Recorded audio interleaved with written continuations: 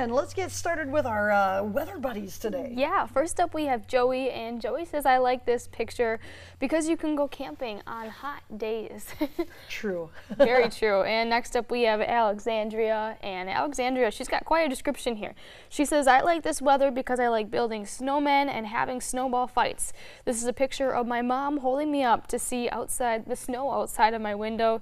You can jump in the snow and off hills of snow. Even when it's cold out there, I still like it.